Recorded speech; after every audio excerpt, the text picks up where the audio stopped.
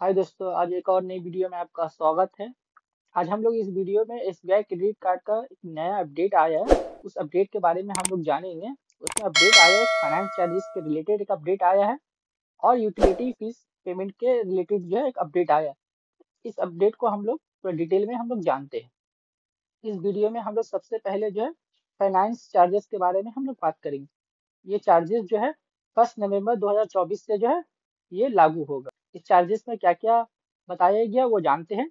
3.75 पर एनएम जो है, सब क्रेडिट कार्ड पे लगेगा और अनसिक्योर क्रेडिट कार्ड पे लगेगा।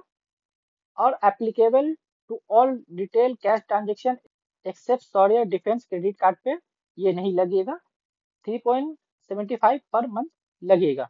पहले जो एसबीआई का जो फाइनेंस चार्जेस जो था, पहले 3.5 परसेंट था या 3.25 परसेंट था। अभी जो है 3.75 परसेंट कर दिया गया। उसके बाद जो नेक्स्ट अपडेट एक आया है यूटिलिटी पेमेंट फ़ीस के बारे में आया है। एक, ये जो है, एक दिसंबर 2024 से जो है, ये लागू होगा।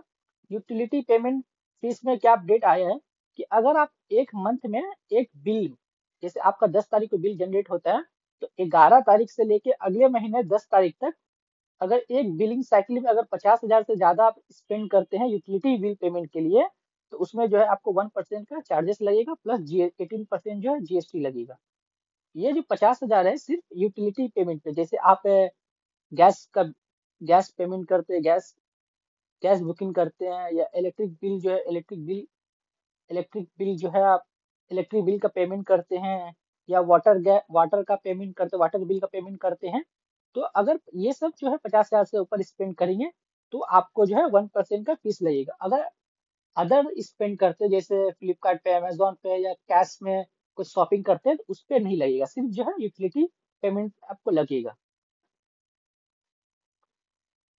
ये एस का एक अपडेट था। अगर आपको ये वीडियो अच्छा लगा हो तो लाइक करें सब्सक्राइब करें और अपने दोस्तों को शेयर करें। थैंक यू धन्यवाद।